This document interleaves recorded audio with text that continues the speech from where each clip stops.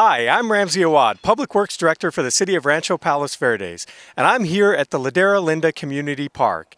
It's been one year since ground broke on this incredible project, and I'm here to provide you with an update on what's been happening.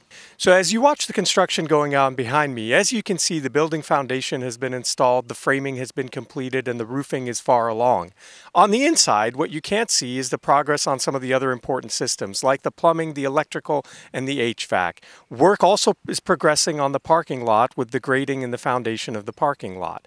When completed, the building will have incredible views of the ocean and offer the community a great place to meet and have their activities.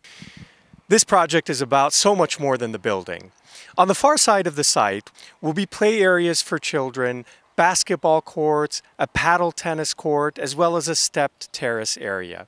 And on the near side, what's currently functioning as a construction parking lot will be turned into a picnic area with a walking path around it.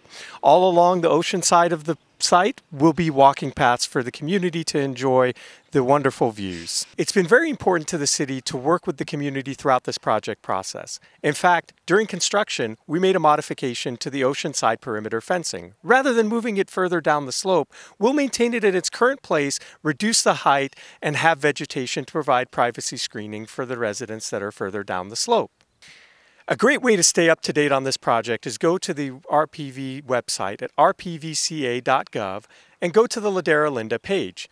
There we provide updates and you can see a camera that's refreshed minute by minute to watch the entire site. We're so excited for the Ladera Linda Community Park project to be complete.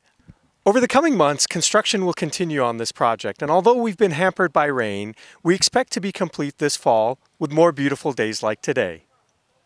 And that's why we have the saying here in RPV that parks make life better. This is Ramzi Awwad, Public Works Director for the City of Rancho Palos Verdes, and I can't wait to see you here when this project is complete.